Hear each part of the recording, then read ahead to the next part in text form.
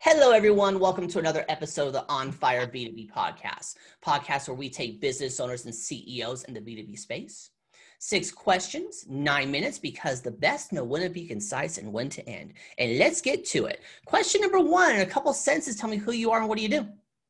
I'm Caryn Lee. My company is Narrative, and we improve business performance through employee engagement, communication, and culture.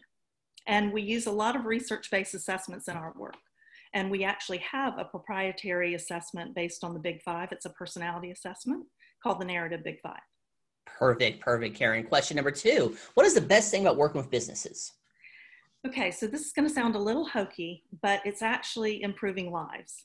So I like to say that at my best, I can help people enjoy their Mondays as much as their Fridays. So it depends whether I'm coaching somebody individually, I'm helping resolve conflict, or I'm working with a team. I'm really helping them understand themselves, understand who they're working with, and really using that information to really improve everything about how they work. You know, we spend a lot of our time at work, so we might as well, you know, be the best that we can be and enjoy it. Absolutely. I love that answer there. Question number three. I'm hearing from other top executives that testimonials and reviews are becoming more critical now, especially video ones. What are your thoughts? Well, anybody that will give a testimonial would give a referral. And referrals, I think, are the lifeblood of a small business, right?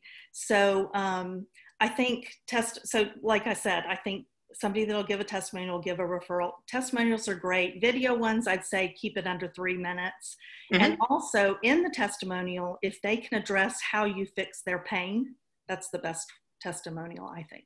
Yeah, that's the most important one because I keep seeing testimonials that they talk about how great and wonderful Caryn is. But again, prospects right. don't care that you're great and wonderful. They care about results. Exactly. Yeah. Question number four What advice do you share with other companies working in the B2B industry? Go.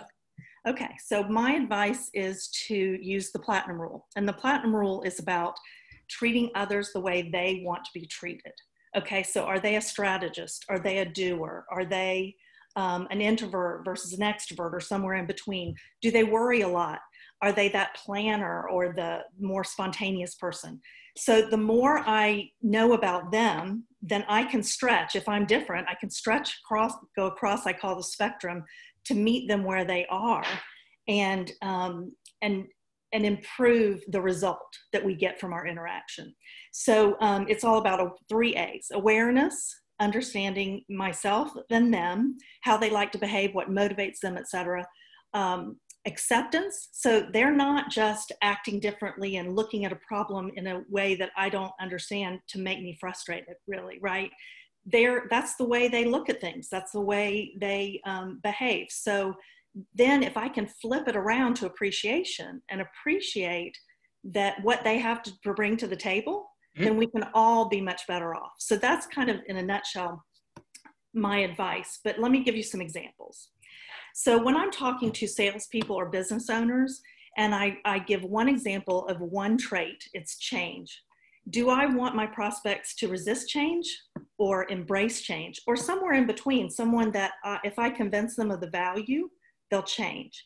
So if I have a product, they're already using a product and I want them to start using mine, I think I want them to be either high in change because it's a shiny new object and they're going to take it, but maybe I want them to actually be somewhere in the middle where if I convince them because then I'm going to retain them as a customer if they change to my product. If I have a prospect that is low in change, I just need to know that it's going to take me longer to convince them, right? But then once I do convince them, they may keep me for a long time as a right. as they may be a client. Um, so so that and how you figure out so first of all you have to kind of figure out without giving them an assessment right you have to right. figure out where they are on the change scale so some of the ways you can figure that out um, are do they go to the same restaurant all the time?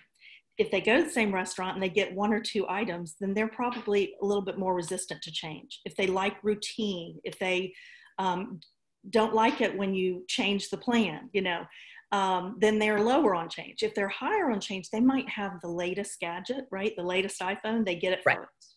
Um, if they embrace change, they they do like to go to new places. Um, they might have moved quite a bit. So there's tricks or tips that you can get on how to identify this in just normal conversation. Another example would be organization. So, how organized are they? When you go in their office, is it um, when it's not COVID, right? Um, yeah. Is it really neat and they they have you know a clear desk, or are there piles?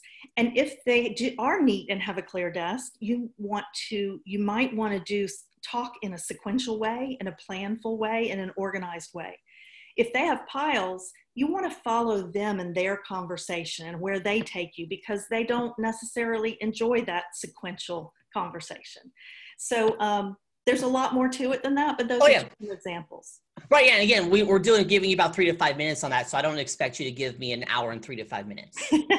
That'd be a little silly there. I'm glad you guys don't see my desk right now because you definitely would be following me through the flow of the conversation. We'll just leave it at that there. Okay. Question number five.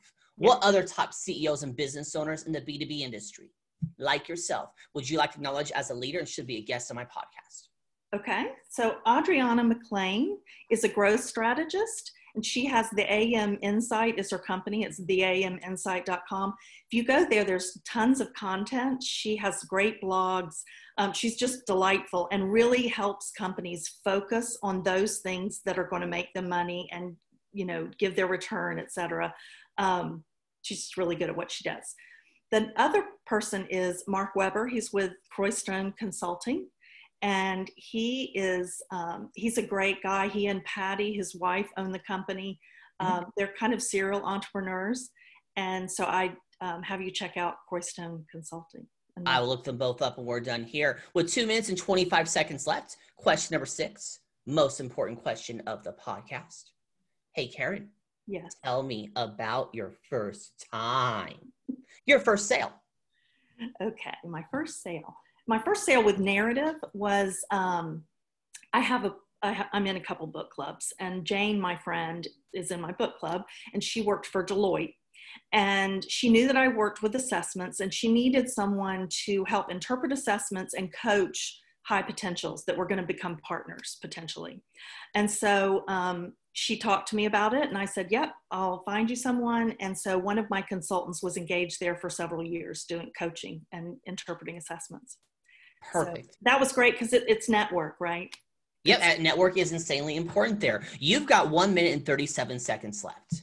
Promo time, ask me a question, talk about the weather, or since the best know when to be concise and when to end, we end early, go.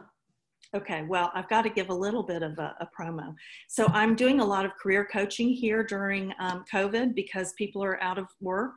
Um, they're using some of their time to really think about what do I want to do with the next 15 years of my life.